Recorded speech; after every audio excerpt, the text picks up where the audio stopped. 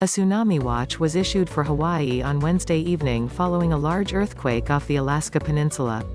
According to Honolulu Star Advertiser, the Pacific Tsunami Warning Center listed the magnitude as 8.1 and said, an investigation is underway to determine if there is a tsunami threat to Hawaii.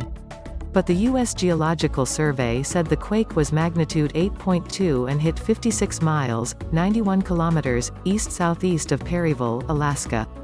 Based on all available data a tsunami may have been generated by this earthquake that could be destructive on coastal areas even far from the epicenter, PTWC said. Based on the preliminary seismic data, the quake should have been widely felt by almost everyone in the area of the epicenter. It might have caused light to moderate damage.